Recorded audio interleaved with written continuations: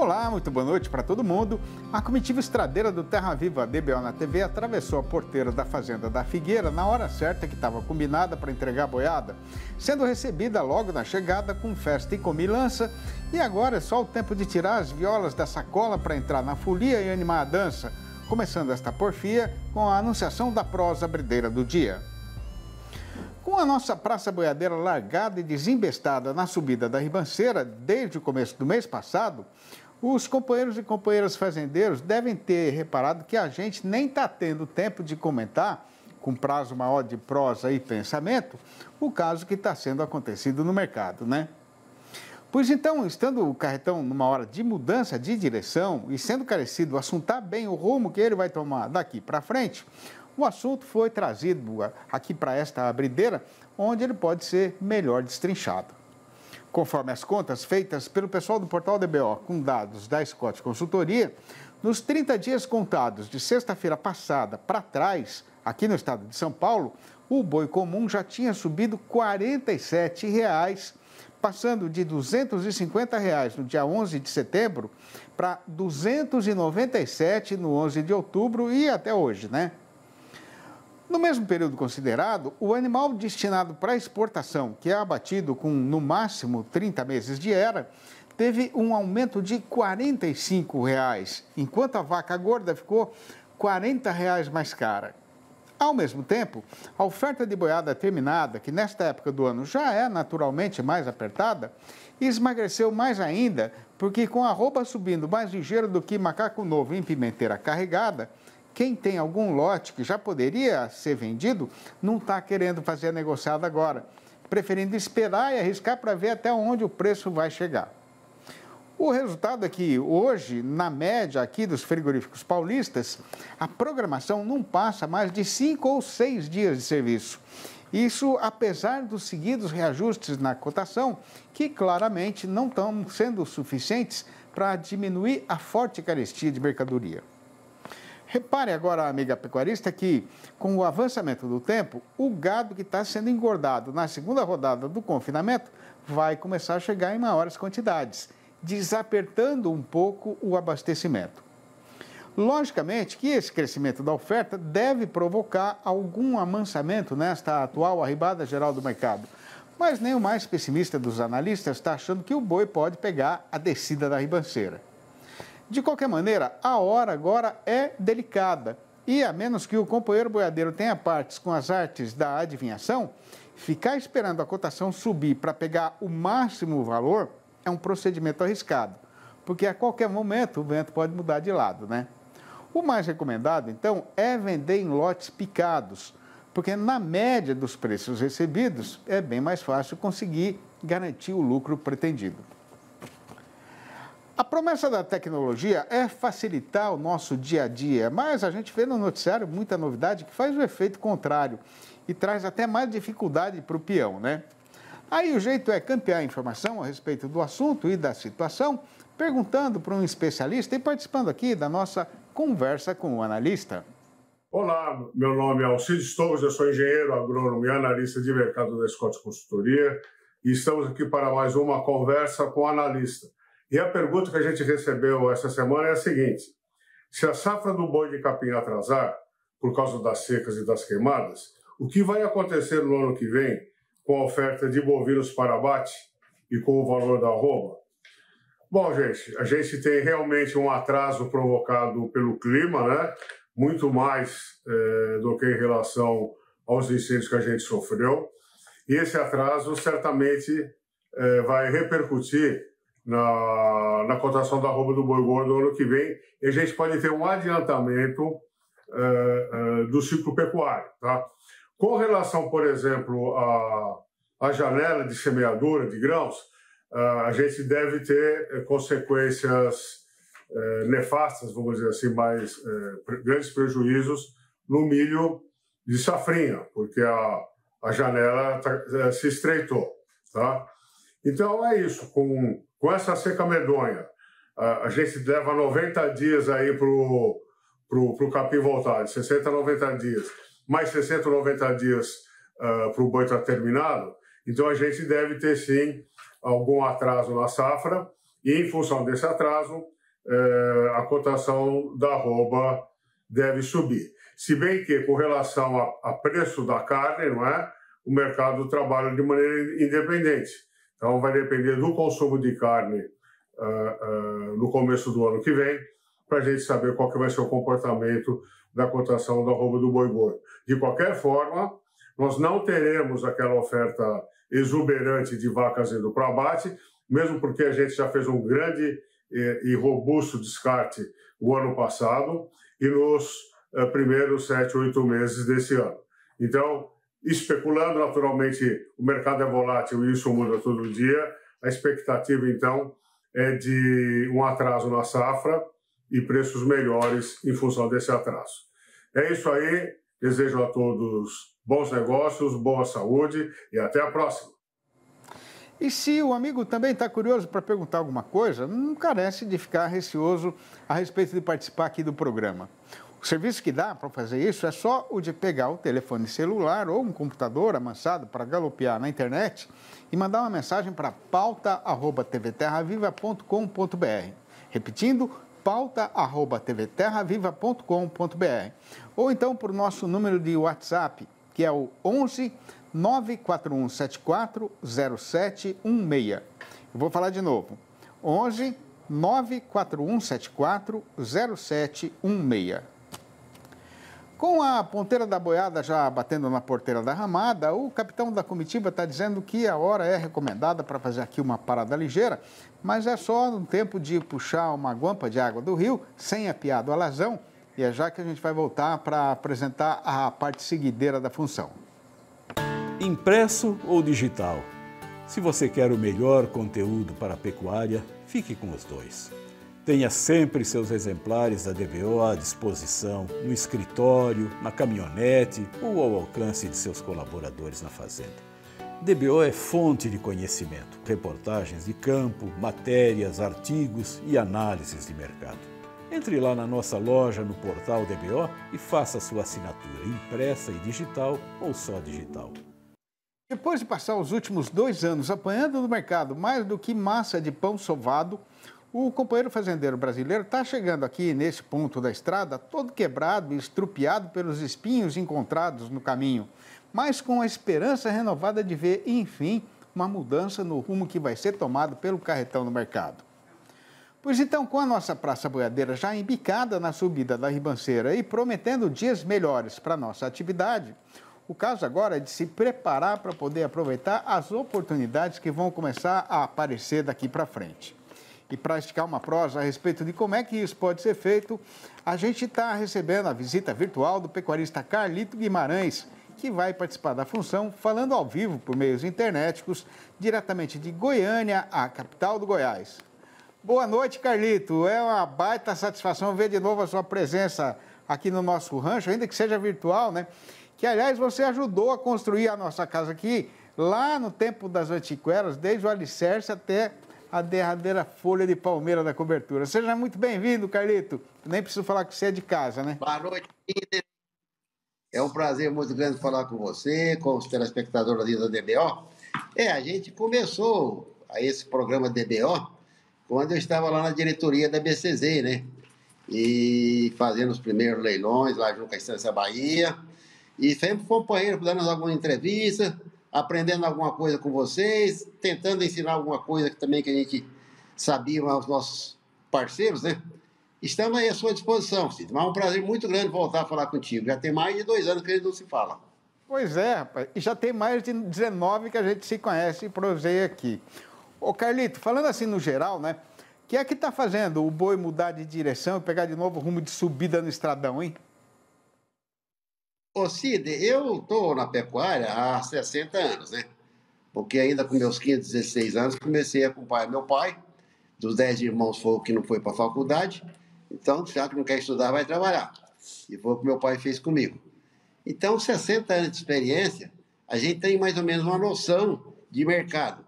Em julho, eu dei uma, algumas entrevistas aí a nível nacional que o boi ia chegar a 300 reais até o final do ano. O pessoal assustou o pessoal até da Bolsa, alguém da Bolsa me ligou, que eu poderia estar tá dando essa orientação.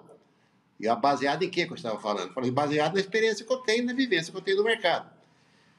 No mês de agosto, novamente, voltei a participar de outras entrevistas, mantive a minha palavra que o boi chegaria aos 300 antes do final do ano. E agora, recentemente, eu falei, eu errei tudo. O boi já chegou a 300 e vai chegar a mais de 300. E com esse clima nosso, com esse tanto de fogo que aconteceu no Brasil, com esse atraso de chuva e com abate indiscriminado, que não foi nem abate, foi extermínio da pecuária brasileira nessa abate matriz, e novilhas que fazia dó. Você chegar no frigorífico, via aquelas novilhinhas de dois anos, dois anos e meio, dez, onze, doze arroba, sendo abatidas, que era um crime. E agora vamos pagar pelo pecado, né? Esse pecado, nós vamos dois anos aí de boi caro. Eu estou vendo o pessoal com a esperança que segundo turno agora do confinamento pode segurar o mercado. Pode segurar o mercado, mas não baixa o mercadão. Agora, nós vamos ver preço do boi, Alcine, dezembro e janeiro, com a novilha, não vou dizer nem a vaca, com a novilha fora do mercado, com pouco bezerro que nasceu há dois anos e meio atrás. Um pouco de bezerro que nasceu há dois anos e meio atrás. E com pouca vaca indo para o segurífico, o preço do boi vai explodir. Hoje eu estou vendo sendo negociado no Mato Grosso bezerro a 360 reais arroba. Isso agora, uns dias atrás, estava em torno de 300. Já está 12 reais o quilo. E não é bezerrinho, não, é bezerro já com peso, certo peso. E o mercado está tendo mercado para isso, tem negócio para isso, tem preço para isso e vai ter lucro para isso. Quem quiser entrar no mercado, entre agora, ainda está a tempo. Ô Carlito, isso quer te perguntar, né? Tem, depois desse extermínio de, de fêmea que você falou aí, tem muita gente querendo comprar bezerro aí na sua região? Tem gente demais querendo, mas cadê o bezerro? E o pior, o Cine, mesmo sem pasto, porque não existe pasto na nossa região. A seca e o fogo exterminou aqui no Mato Grosso, Goiás. Está muito ruim os pastos. Estamos é, completando a ração aqui no coxo para criar o bezerro, a vaca parida, para não morrer de fome.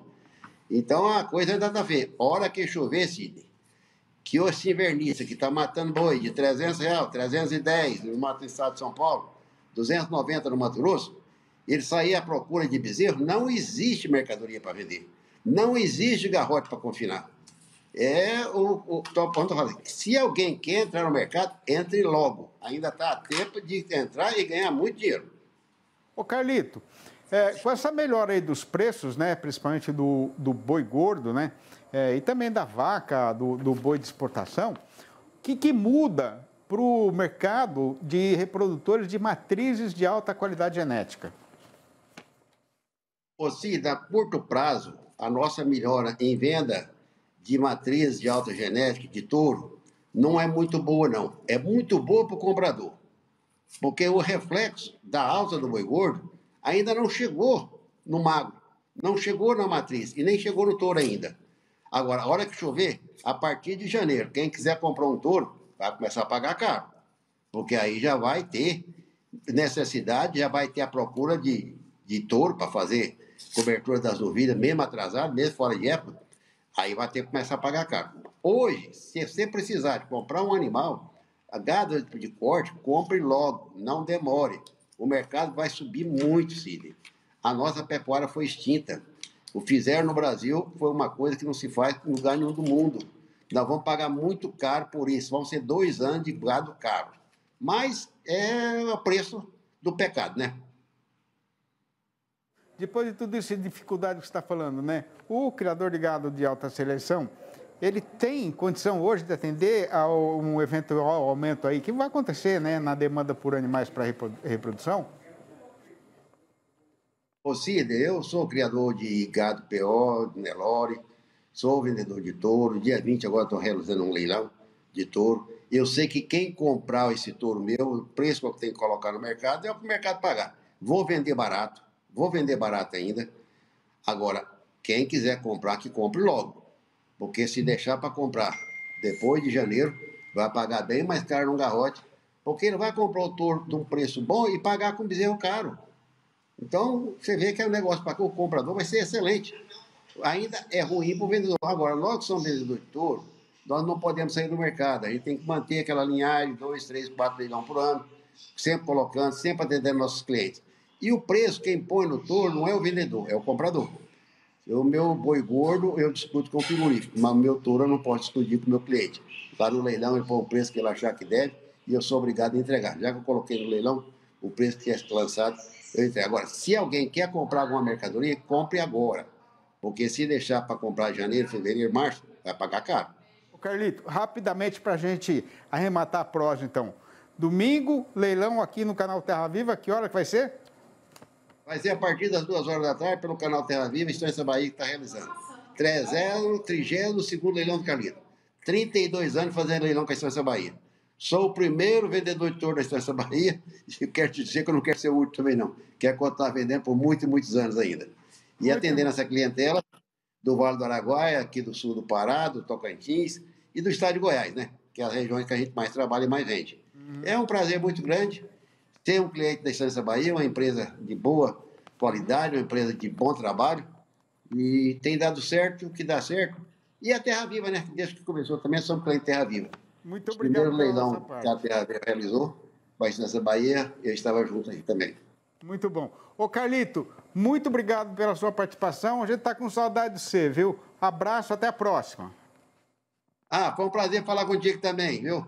Faz o favor de dá notícia do nosso leilão aí daqui para domingo. Todo dia você está no ar aí, leilão do Carlito domingo, duas horas da tarde. Tá bom. Abraço, Carlito. Com o mês já vencido na sua metade abrideira, em vez de amansar, a nossa Praça Boiadeira continuou subindo a ladeira em desabalada carreira, empurrada pela combinação do forte aperto na oferta de gado terminado com a demanda por carne maior do que era esperado. Terra Viva DBO na TV volta já, aguarde. Estamos de volta e nesta terça-feira, em que a metade abrideira de outubro foi arrematada no calendário, o que tem para ser contado é que no mercado pecuário a arroba continuou subindo mais ligeira do que rojão de vara em festa de São João no país inteiro. A explicação, falando bem resumidamente, né, é que a nossa praça boiadeira está sendo empurrada no rumo de ladeira acima pela conjuminação de um forte aperto na oferta de gado terminado com um consumo de carne maior do que era o esperado, aqui no nosso próprio terreiro e também lá no estrangeiro. O resultado foi que, no balanço do dia da Scott Consultoria, foram apuradas mudanças nas cotações em 29 das 32 regiões pesquisadas em todo o Brasil, sendo que, de novo, em todas essas praças, o preço subiu. Tendo então precisão de correr com o serviço para dar conta de falar tudo isso, a gente já registra que a lista destas arribadas foi comandada por Barretos de Araçatuba, aqui no estado de São Paulo, onde a vaca aumentou sozinha para 267 reais a prazo e ainda para descontar o fundo rural. Nas Minas Gerais, a alta foi geral no estado inteiro, começando por Belo Horizonte, com o macho indo para 295 reais e a fêmea para R$ 275. No norte do estado, o boi foi levantado para 285 reais e a vaca para R$ 270. Na região sul, o macho passou também para 285 reais e a fêmea para R$ 260. No Triângulo Mineiro, o boi foi para 290 reais e a vaca para R$ 265. No Espírito Santo, a fêmea bateu em 265 reais. E atenção todo mundo, porque no Rio de Janeiro o macho já arredondou os 300 reais. A mesma coisa aconteceu no noroeste do Paraná, onde o boi já pulou também para 300 reais e a vaca para 262. Em Campo Grande, a capital de Mato Grosso do Sul, a oferta mínima pelo macho agora é de 295 reais, e pela fêmea de R$ 275. Em Dourados, o dono do frigorífico está aceitando pagar pelo boi 297 reais e pela vaca R$ 280, sem regatear nem reclamar. Em Três Lagoas, a fêmea só sai se for por 265 reais ou mais. Em Cuiabá, capital de Mato Grosso, os preços novos são 265 reais para o boi e R$ 237 para a vaca. No sudeste do estado, o macho foi levantado para 265 reais e a fêmea para R$ 240. Na região sudoeste, o boi sai agora por 260 reais e a vaca por R$ 245. O norte matogrossense já trabalha com os números redondos de 270 reais para o macho e R$ 250 para a fêmea. No sudeste da Rondônia, o boi está a 265 reais e a vaca a R$ 250. Em Goiânia, capital do Goiás, sai negócio a partir de 280 reais para o macho e de R$ 262 para a fêmea. No sul goiano, o boi encareceu para 275 reais e a vaca para R$ 262.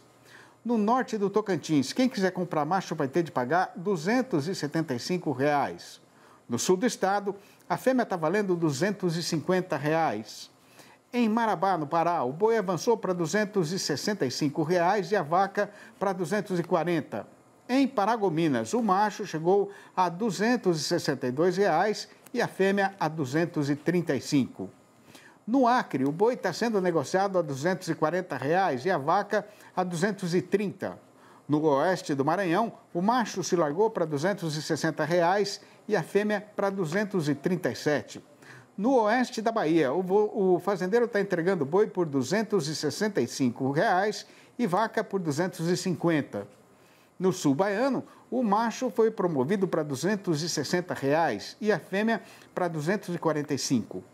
Nas Alagoas, valores, os valores falados no mercado são 270 reais para o macho e R$ 255 para a fêmea. E em Santa Catarina, ninguém vende boi por menos do que 285 reais, nem vaca abaixo de R$ 260. Deixei o sertão numa manhã de agosto para fazer o gosto do meu coração passarinheiro.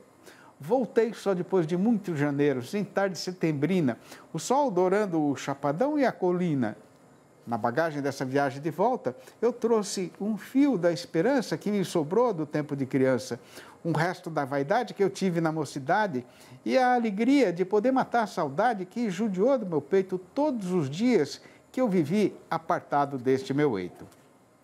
Esta e outras prosinhas tiradas da vida simples do povo do sertão brasileiro, eu fui escrevendo ao longo desses anos derradeiros para servir de roteiro e inspiração para os canturinos, recitadores e violeiros e para todo mundo que aprecia este nosso jeito de falar e de versejar.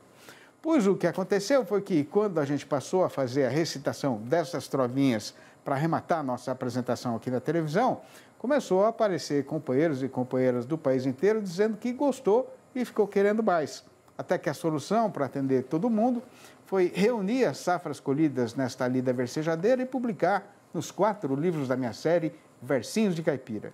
Se alguém quiser saber como fazer para comprar um exemplar ou a coleção inteira, que custa menos do que uma arroba de vaca na praça mais barateira do Brasil, pode me telefonar diretamente no número 11 98 224 1807.